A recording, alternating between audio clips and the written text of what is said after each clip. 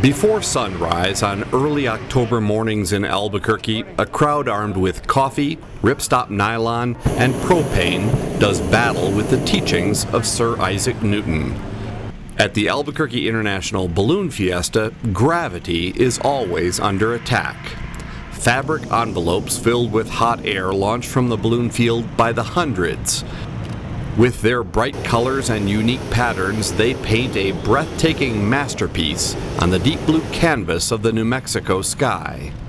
I'm, you just have to see this. It's just all the balloons out here. I mean, that's something that you don't see every day.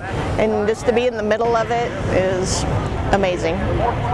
In Albuquerque, spectator area and balloon launch field are simply different names for the same place. It's just fun, especially seeing it through the uh, the little guy's eyes when they, uh, especially when the the flame goes up. It's just really really awesome. The daily crowds are free to roam among the balloons. Albuquerque offers a unique combination of weather patterns and geography to create the famed Albuquerque box. This means balloons can ride the breeze away from the field, change altitude a bit, and catch another breeze pushing them back where they came from. It is common to look up and see balloons traveling in opposite directions.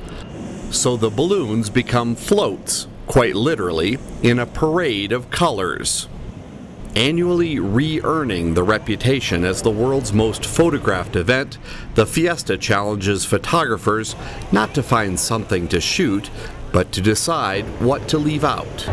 Got a few pictures of the cow. the special shaped balloons are always a crowd favorite. As are the nighttime glows, with the balloons serving as flickering lanterns.